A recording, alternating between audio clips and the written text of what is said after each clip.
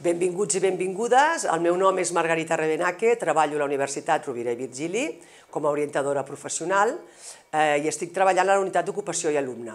Avui he vingut aquí per explicar-vos unes pautes per estudiar millor i obtenir un millor rendiment. Comencem. Divideix l'estona de l'estudi en parts més petites. Eh, és important eh, dividir tot el temari en parts més petites i després utilitzar un temps molt concret també a l'estudi.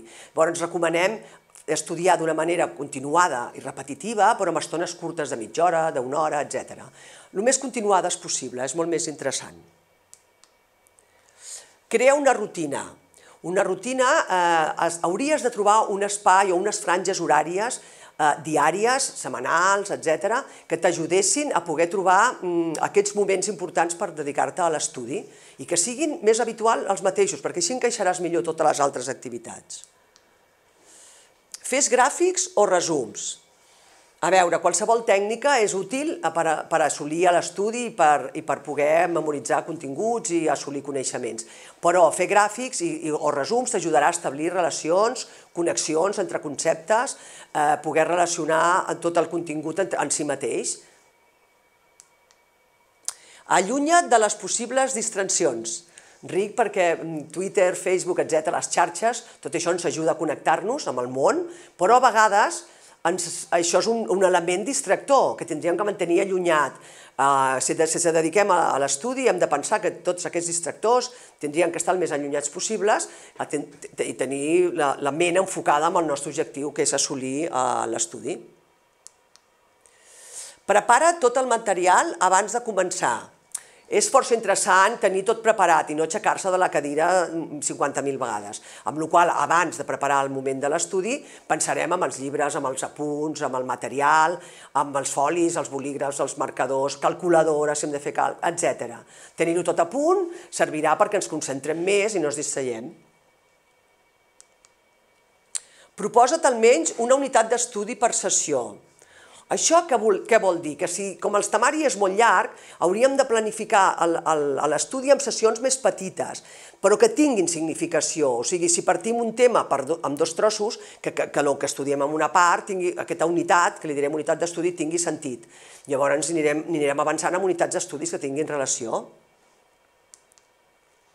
Descarta memoritzar literalment. El tema de la memorització ja no està gens gens de moda amb, amb el tema de l'estudi. El que lo interessant és fer un aprenentatge significatiu, que puguis interioritzar els conceptes, entendre el que estàs aprenent i, i, i poder-ho interioritzar amb les teves paraules i amb, i amb, els, i amb les teves mm, eines. Eh? Estableix relacions entre conceptes. Fora interessant establir relacions, com hem dit, que ja hem dit que el, que el, que el tema del resum i els gràfics ens ajudaran a establir relacions entre conceptes, però també estaria bé que establíssim relacions entre els temes i entre els temes i la realitat. Pensem que tot el que estudiem, ho estudiem perquè tenim que, que, que, que fer una, una, un traspàs, diguem, la realitat i estaria bé que establíssim també aquesta connexió. Autoavaluació, ja sabeu que les, els campus virtuals sempre hi ha un apartat d'autoavaluació, estaria bé que ens autoavaluéssim, això ens, ens ajudarà a saber si hem, estem complint els nostres objectius, si la nostra avaluació és positiva, això ens servirà perquè estiguem més motivats i continuem endavant, si, si no és tan positiva com ens agradaria, servirà per, fer, per establir petites correccions i aconseguir el nostre objectiu. O sigui, l'autoavaluació és una, una peça clau en el procés d'aprenentatge. Explica en veu alta el tema a una altra persona. Això és molt útil per moltes persones, jo us recomano que ho feu, perquè ens ajuda a centrar molt el tema, a que mentalment tinguem les idees clares per poder tenir un discurs eh, elaborat i clar, per poder-ho transmetre, perquè quan sentim la nostra veu és, és un element diferent que quan ho sentim d'una altra persona.